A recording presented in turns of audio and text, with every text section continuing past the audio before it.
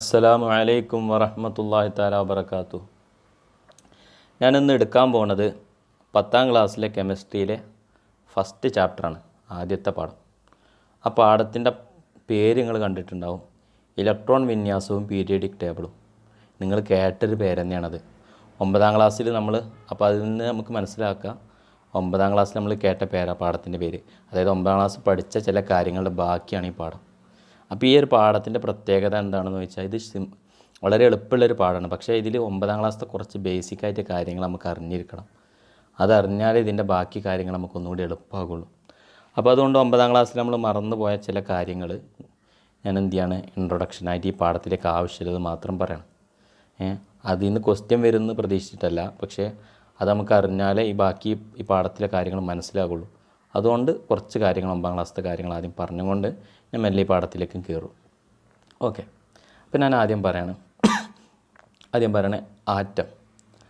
Atom എന്ന് പറഞ്ഞാൽ നമുക്കറിയാം ഒരു മൂലകത്തിന്റെ എല്ലാ സ്വഭാവം കാണിക്കുന്ന അതിൽ ഏറ്റവും ചെറിയ സൂക്ഷ്മ കണികയാണ് ആറ്റം.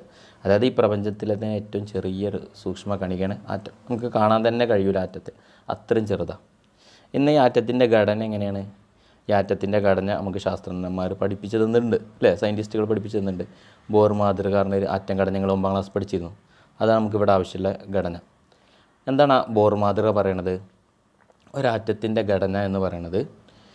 അതിൽ പ്രധാനമായിട്ട് മൂന്ന് കണങ്ങൾ കൂടി ചേർന്നിട്ടാണ് ഒരാറ്റം ഉണ്ടായിരിക്കുന്നത് ഏതൊക്കെയാണ് മൂന്ന് കണങ്ങൾ? അത് നമ്മൾ ആ പ്രോട്ടോണ് ഇലക്ട്രോണ് ന്യൂട്രോണ്. ആ കണങ്ങൾ നമ്മളെന്ത് പറയും? ആറ്റത്തിന്റെ മൗലിക കണങ്ങൾ എന്ന് പറയും. ഏതൊക്കെ? Proton electron neutron. ഈ മൂന്ന് കണങ്ങൾ കൂടി ചേർന്നതാണ് എന്ത്? ആറ്റം. അപ്പോൾ ഈ കണങ്ങൾ കൂടി ചേർന്ന ആറ്റം ഉണ്ടായിരിക്കുന്നത് അപ്പോൾ എങ്ങനെയാണ് ആറ്റത്തിന്റെ ഘടന പറയാം? ആറ്റത്തിന്റെ ഒരു കേന്ദ്രഭാഗം ഉണ്ട് അത് നമ്മൾ ന്യൂക്ലിയസ് എന്ന് പറയും.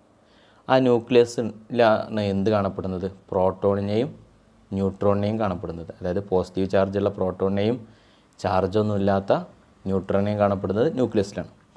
പിന്നെ ഈ ന്യൂക്ലിയസിന് ചുറ്റോറം ഷെല്ലുകളുണ്ട്. ഷെല്ലുകൾ എന്ന് പറഞ്ഞാൽ ഇല ഊർജ നിലകൾ എന്നതിന് പേരുണ്ട്. അതായത് ഇലക്ട്രോണുകളെ കാണപ്പെടുന്ന ഭാഗത്തെയാണ് നമ്മളെന്ത് പറയുന്നത്? ഷെല്ലുകൾ എന്ന് പറയുന്നത്. ഈ ഷെല്ലുകളിലാണ് ഏത് കാണപ്പെടുന്നത്? ഇലക്ട്രോണിനെ കാണപ്പെടുന്നത്. അപ്പോൾ ഒരു ആറ്റത്തിന്റെ ഘടന നമ്മൾ ചുരുക്കി പറഞ്ഞാൽ ഒരു കേന്ദ്രഭാഗം. അതിൽ അതിന് നമ്മൾ എന്ത് വിളിക്കും? ന്യൂക്ലിയസ്. അതിനകത്ത് രണ്ട് തരം കണങ്ങൾ പ്രോട്ടോണ് ന്യൂട്രോണ്. പിന്നെ ന്യൂക്ലിയസിന് ചുറ്റും ഷെല്ലുകൾ ഈ ഷെല്ലുകളിൽ ഇലക്ട്രോണ് ഇലക്ട്രോണുകളെ കാണപ്പെടുന്നു ഇതാണ് ഒരു ആറ്റത്തിന്റെ ഘടന. ഇനി ആറ്റങ്ങൾ മാറുന്നതിനനുസരിച്ച് ഇതിലെ പ്രോട്ടോണിന്റെ എണ്ണം മാറും. അതിനനുസരിച്ച് ഇലക്ട്രോണിന്റെ എണ്ണം മാറും. കുറേ ഇലക്ട്രോൺ ഉണ്ടെങ്കിൽ അതിന് കുറേ ഷെല്ല് ആവശ്യമുണ്ടാവും. കുറഞ്ഞ ഇലക്ട്രോൺ ആണെങ്കിൽ കുറഞ്ഞ ഷെല്ല് ആവശ്യമുണ്ടുള്ളൂ അങ്ങനെ ആറ്റത്തിന്റെ ഘടന മാറും. പക്ഷേ ബേസിക്കായിട്ട് എല്ലാ ആറ്റത്തിലും എന്തുണ്ട്? ന്യൂക്ലിയസ് ഉണ്ട് പ്രോട്ടോൺ ഉണ്ട് ഇലക്ട്രോൺ ഉണ്ട്. ഇലക്ട്രോണിലുണ്ട് ഷെല്ലുണ്ട് പിന്നെ എന്താ വ്യത്യാസപ്പെടുക ഷെല്ലുകളുടെ എണ്ണം വ്യത്യാസപ്പെടാം. വലിയ ആറ്റാകുമ്പോൾ കുറേ ഇലക്ട്രോൺ ഉണ്ടാകുമ്പോൾ കുറേ ഷെല്ല് വേണ്ടി വരും. അതുപോലെ ന്യൂക്ലിയസിൽ ചിലപ്പോൾ കുറ ഒരു പ്രോട്ടോണിലേ ഉണ്ടാവും പത്ത് പ്രോട്ടോണിലേ ഉണ്ടാവും നൂറ്റി ഇരുപത് പ്രോട്ടോൺ അങ്ങനെയൊക്കെ വ്യത്യാസപ്പെടാം. അതേ ആറ്റത്തിന്റെ വ്യത്യാസങ്ങൾ വരുള്ളൂ. ഓക്കെ ഇനി നമ്മൾ പറയാൻ പോണത് അത് ഇലക്ട്രോൺ വിന്യാസമാണ് നമ്മൾ ഒമ്പതാം ക്ലാസ് പഠിച്ച ഇലക്ട്രോൺ വിന്യാസം ഇലക്ട്രോൺ വിന്യാസം എന്ന് പറഞ്ഞാൽ ഒരാറ്റത്തിൽ ഷെല്ലുകളിൽ ഇലക്ട്രോണുകൾ നിറയുന്ന ക്രമത്തിനെ നമ്മൾ എന്ത് പറയുന്നത് ഇലക്ട്രോൺ വിന്യാസം എന്ന് പറയുന്നത് നമുക്കറിയാം ഷെല്ലുകളിലാണ് ഇലക്ട്രോണുകളെ കാണപ്പെടുന്നത്. ആ ഷെല്ലുകളിൽ എങ്ങനെയാണ് ഇലക്ട്രോൺ വിന്യസിച്ചിരിക്കുന്നത് എന്ന് പറയുന്നതാണെന്ത് ഇലക്ട്രോൺ വിന്യാസം അപ്പോൾ നമുക്ക് ആദ്യം ആറ്റത്തിലെ ഷെല്ലുകൾ ഏതൊക്കെയെന്ന് അറിയണം. പ്രധാനമായിട്ടുള്ള ഷെല്ലുകൾ നമ്മൾ പറയണത് ആറ്റത്തിൽ. അത് നമുക്ക് ആവശ്യമുള്ളൂ. കെ എൽ എം എൻ അതായത് K shell L shell M shell N shell അപ്പോൾ ആ ക്രമത്തിൽ തന്നെ ന്യൂക്ലിയസിന് ഏറ്റവും അടുത്ത ഷെല്ലാണിത് കെ കെ ഷെല്ല് പിന്നെ തൊട്ടടുത്തത് എല്ല് തൊട്ടടുത്തത് എം തൊട്ടടുത്തത് എൻ അപ്പോൾ ഈ ഷെല്ലുകളുടെ ഈ ഷെല്ലുകളിൽ എങ്ങനെയാണ് ഇലക്ട്രോൺ അറിയാം? ആദ്യം ഫസ്റ്റ് കെ ഷെല്ലിലേക്കാണ് ഇലക്ട്രോൺ പോവുക. അതായത് ഊർജം കുറഞ്ഞ ഷെല്ലിലാണ് ആദ്യം ഇലക്ട്രോൺ ചെല്ലുക.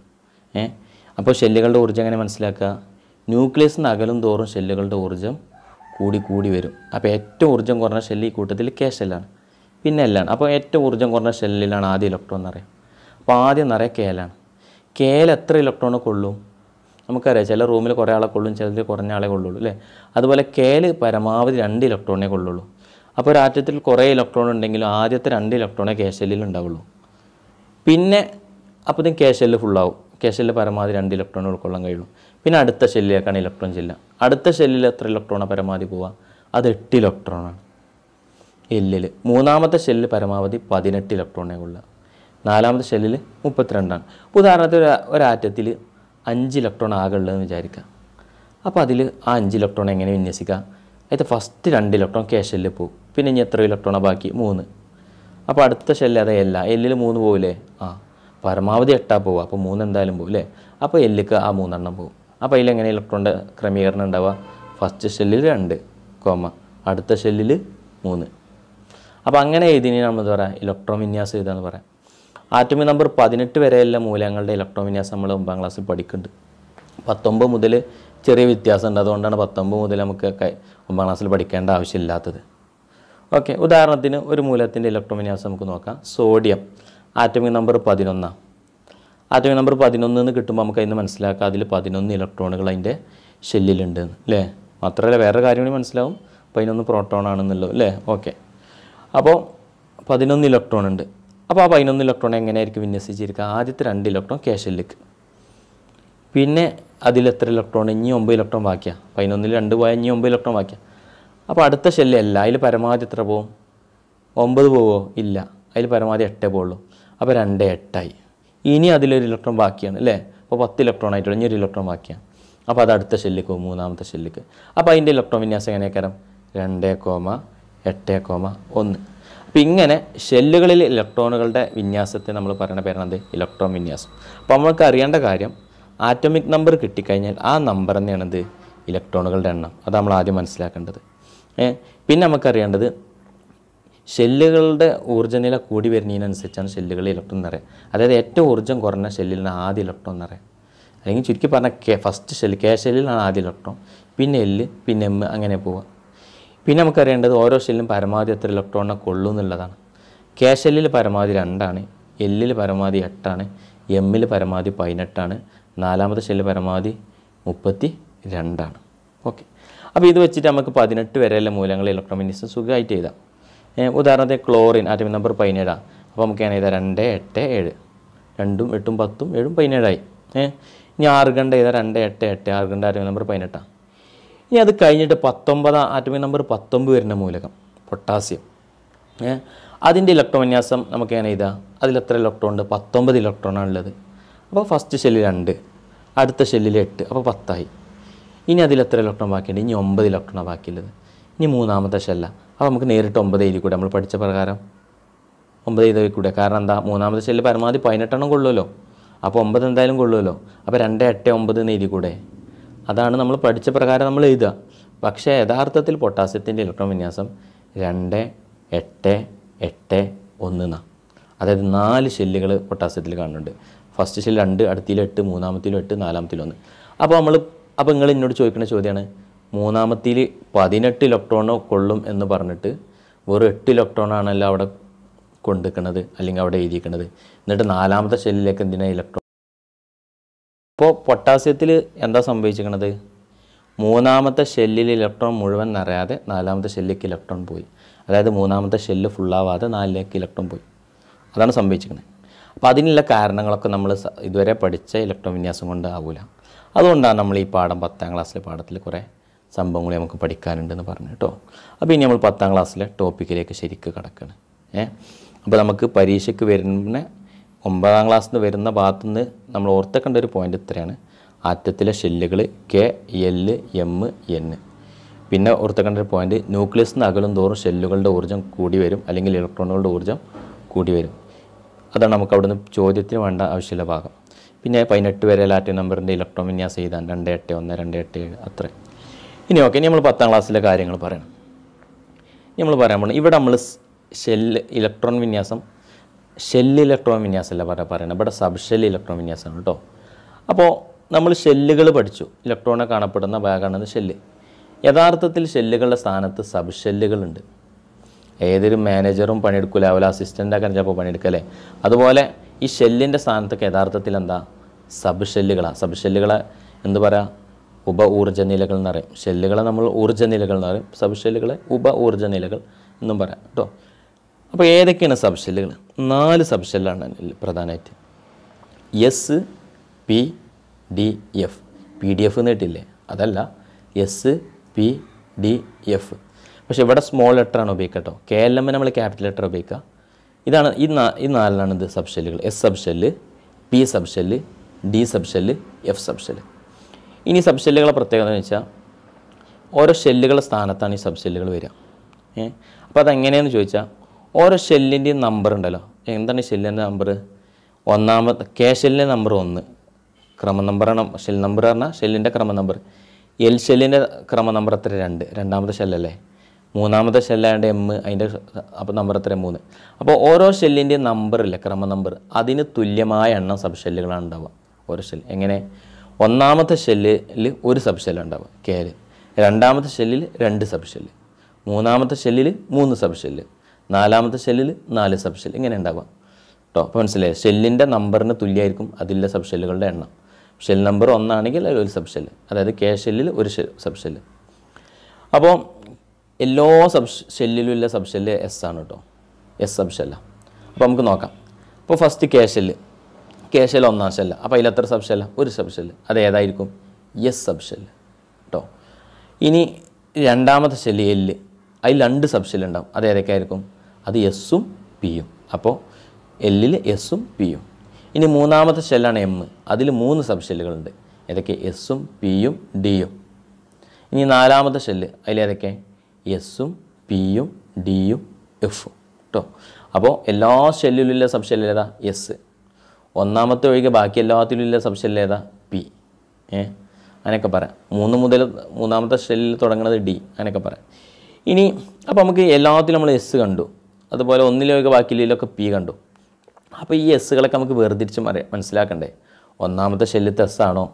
രണ്ടാമത്തെ ഷെല്ലിത്തെ എസ് ആണോ എന്നൊക്കെ മനസ്സിലാകണ്ടേ? അപ്പോൾ അത് നമുക്ക് സൂചിപ്പിക്കാൻ വേണ്ടിയിട്ട് എന്ത് ചെയ്യുക ഈ സബ് ഷെല്ലിന്റെ ഇടത്തെ ഭാഗത്ത് നമുക്ക് ഷെൽ നമ്പർ ക്രമ നമ്പർ കൊടുക്കാം. കെ എന്ന് കൊടുക്കണ്ട. കെന്റെ നമ്പർ ഒന്ന് കൊടുത്താൽ മതി. മൂന്നാമത്തെ ഷെല്ലാണെങ്കിൽ എം എന്ന് കൊടുക്കണ്ട മൂന്ന് എന്ന് കൊടുത്താൽ മതി ഉദാഹരണം അപ്പോൾ നമുക്ക് എങ്ങനെ പറയാം? ഒന്നാമത്തെ ഷെല്ല് കെ ഷെല്ല് അതിന്റെ എസ് സബ് ഷെല്ല് നമുക്ക് എങ്ങനെ പറയാം? വൺ എസ് എന്ന് പറയാം. കേട്ടോ? Capital one small s one s ഇനി അപ്പോൾ രണ്ടാമത്തെ ഷെല്ലിലെ സബ് ഷെല്ലുകൾ ഏതൊക്കെ? എസും ബി ഉണ്ടല്ലോ. അതിന് നമുക്ക് എങ്ങനെ പറയാം? ടു എസ് ടു പി എന്ന് പറയാം. അപ്പോൾ ടു എസ് എന്ന് പറഞ്ഞാൽ രണ്ടാമത്തെ ഷെല്ലിലെ s sub shell two p എന്ന് പറഞ്ഞാലോ? രണ്ടാമത്തെ ഷെല്ലിലെ പി സബ് ഷെൽ അപ്പോൾ ഈ രണ്ട് എന്ന് പറയുന്നത് അവിടുത്തെ ഷെൽ നമ്പറാണ് അതായത് എല്ലാം ഏതാണ് ഷെല്ല് എന്നാണ് കാണിക്കുന്നത് ഇനി മൂന്നാമത്തെ സബ് ഷെല്ല് അപ്പോൾ ഏതൊക്കെയാണ് കാരം? Three s three p three d അല്ലേ നാലാമത്തെ ഷെല്ലോ four s four p four d four f അപ്പോൾ ചുരുക്കി പറഞ്ഞ സബ്ഷെല്ലുകൾ ഏതൊക്കെ? വൺ എസ് അല്ലേ പിന്നെ വൺ പി ഇല്ല. നമുക്കറിയാം ഒന്നാമത്തിൽ ആകെ എസ് ഉള്ളൂ. അപ്പോൾ വൺ പി ഡി ഒന്നുമില്ല. ഇനി രണ്ടാമത്തത്. അപ്പോൾ ഫസ്റ്റ് വൺ എസ് പിന്നെ ടു എസ് ടു പി ഇനി അടുത്ത് മൂന്നാമത്തെ three s three p three d അടുത്ത് four s four p four d four f അപ്പോൾ ചുരുക്കി പറയാം sub ഷെല്ലുകൾ one s two s two p three s three p three d four s four p four d four f ഇതാണ് sub അപ്പോൾ അപ്പോൾ ഇവിടുന്ന് എപ്പോഴും S S L സിക്ക് വരുന്ന ഒരു ചോദ്യമാണ് താഴെ തന്നിരിക്കുന്നതിൽ ശരിയല്ലാത്ത സബ് ഷെല്ല് ഏതായിരിക്കും എന്നിട്ട് നമുക്ക് one s one two s three p ഒക്കെ വരും. എന്നിട്ട് അതിന്റെ അടിയിൽ ഒരു വൺ പി എന്ന് കാണിക്കും അപ്പോൾ നമുക്കറിയാം എന്ത്? വൺ പി തെറ്റാണ്. കാരണം എന്താ? ഒന്നാമത്തെ ഷെല്ലിൽ പി സബ് ഷെല്ലില്ല കേട്ടോ അപ്പോൾ നമ്മൾ ചോദിക്കണ തെറ്റി ചോദിക്കുന്ന ചോദ്യങ്ങളാണ് വൺ പി അതുപോലെ വൺ ഡി വൺ എഫ് അതൊന്നും ഇല്ലാത്തതാണ്. കാരണം ഒന്നാമത്തിൽ എസ് സബ് ഷെല്ല് മാത്രമേ ഉള്ളൂ വൺ എസ് അതുപോലെ രണ്ടാമത്തെ ഷെല്ലിൽ നിന്ന് രണ്ടാമത്തെ ഷെല്ലിൽ ടു എസ് ഉണ്ട് ടു പി ഉണ്ട് നമുക്കറിയാം. എന്നിട്ട് നമ്മുടെ ടു ഡി എന്നൊക്കെ പറയും. ടു ഡി ഒരിക്കലും ഇല്ല. കാരണം രണ്ടാമത്തിൽ എന്തില്ല? ഡി സബ് ഷെല്ലില്ല അതുപോലെ ടു എഫ് അതും ഇല്ല. രണ്ടാമത്തിൽ എഫ് സബ് ഷെല്ലില്ല ഇനി മൂ അതുപോലെ മൂന്നാമത്തിൽ three p three d three f ഉണ്ട്. സോറി ത്രീ എഫ് ഇല്ല. Three s three p three d ഉണ്ട്. എന്നിട്ട് മൂന്നാമത്തെ നമുക്ക് ത്രീ എഫ് എന്ന് തരും. ത്രീ എഫ് എന്തിലില്ല? അത് തെറ്റാണ്. ത്രീ എഫ് പറഞ്ഞ സബ് ഇല്ല. കാരണം മൂന്നാമത്തിൽ എഫ് ഇല്ല. ഷെല്ലില്ല നാലാമത്തിലൊക്കെ ഉണ്ട്. ഫോർ എസ് ഉണ്ട് ഫോർ പി ഉണ്ട് ഫോർ ഡി ഉണ്ട് ഇനി നമ്മൾ മനസ്സിലാക്കേണ്ടത് ഓരോ സബ്ഷെല്ലും എത്ര ഇലക്ട്രോണിനെ ഉൾക്കൊള്ളും എന്നുള്ളതാണ് ഇത്രയും പറഞ്ഞിട്ട് നമുക്ക് ഈ ഇന്നത്തെ ക്ലാസ് ഇവിടെ ക്ലോസ് ചെയ്യാം. അപ്പോൾ ഓരോ സബ്ഷെല്ലിലും അപ്പോൾ നമ്മൾ ഒറ്റയടിക്ക് ആദ്യം ഞാൻ പറയാം. എസ്സിൽ പരമാവധി രണ്ട് ഇലക്ട്രോൺ പിയിൽ പരമാവധി ആറ് ഇലക്ട്രോൺ ഡിയിൽ പരമാവധി പത്ത് ഇലക്ട്രോൺ എഫിൽ പരമാവധി പതിനാല് ഇലക്ട്രോൺ അത് ഓർത്തെക്കാനൊരു ഐഡിയ ഉണ്ട്. എസ്സിൽ രണ്ടാന്ന് ഓർത്തച്ചാൽ മതി. പിന്നെ നാല് കൂട്ടാണ്. എസ് കഴിഞ്ഞാൽ പി ആണ്. പി സബ് ഷെല്ല് ആറ്. പിന്നെ അതിൽക്കൂടി നാല് കൂട്ടിയ പത്ത്. ഡിയിൽ പത്ത്.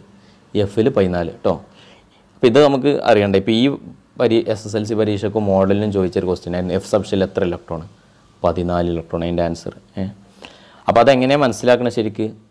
ഒന്നാമത്തെ ഷെല്ലിൽ പരമാവധി രണ്ട് ഇലക്ട്രോൺ ഒന്നാമത്തെ ഷെല്ല് പരമാവധി രണ്ട് ഇലക്ട്രോൺ അപ്പോൾ ഒന്നാമത്തിൽ ഏത് ഷെല്ല് മാത്രമേ ഉള്ളൂ? എസ് മാത്രമേ ഉള്ളൂ. വൺ എസ് അപ്പോൾ ഒന്നാമത്തിൽ രണ്ട് ഇലക്ട്രോൺ അപ്പോൾ എസ്സിൽ പരമാവധി രണ്ട് ഇലക്ട്രോൺ ഇനി രണ്ടാമത്തെ ശല്യം നമുക്കറിയാം പരമാവധി എട്ട് ഇലക്ട്രോണാണ് ഒമ്പതാം നമ്മൾ പഠിച്ചാണ് രണ്ടാമത്തിൽ എസ്സും പി ഉണ്ട് അല്ലേ അപ്പോൾ ആ എട്ട് എങ്ങനെയാണ്? എസ്സിൽ രണ്ടാണ് നമുക്ക് കിട്ടി. ബാക്കി ആറാണ് എട്ടുക്കുള്ളത് ആറാണ് പിയിൽ അപ്പോൾ പിയിൽ പരമാവധി ആറ് ഇലക്ട്രോൺ ഇനി മൂന്നാമത്തെ ഷെല്ല് പതിനെട്ട് ഇലക്ട്രോണൊക്കെ കൊള്ളാൻ നമ്മൾ പഠിച്ചു.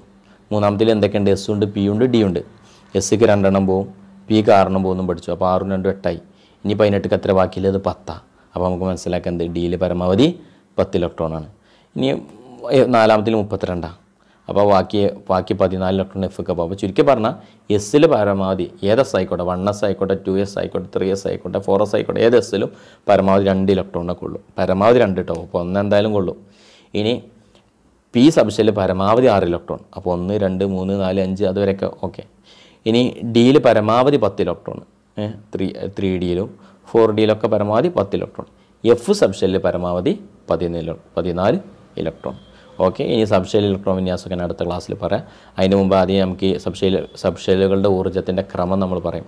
ആ ഊർജത്തിന്റെ ക്രമത്തിലാണ് അതിലേക്ക് ഇലക്ട്രോൺ എന്ന് പറയാം അപ്പോൾ അത് നമ്മൾ അടുത്ത ക്ലാസ്സിൽ പറയാം. അപ്പോൾ ഇത്രയും കാര്യങ്ങൾ ഞാൻ ഇന്നത്തെ ക്ലാസ്സിൽ പറയണു നിങ്ങൾ മനസ്സിലാകാത്തത് നിങ്ങൾ എന്ത് ചെയ്യുക ഡൗട്ട് നമ്മളോട് ക്ലിയർ ചെയ്യുക വാട്സപ്പിലോ അങ്ങനെ എന്തെങ്കിലും നമ്മളോട് ഡൗട്ട് ക്ലിയർ ചെയ്യണം. ഓക്കെ. ശുക്രൻ.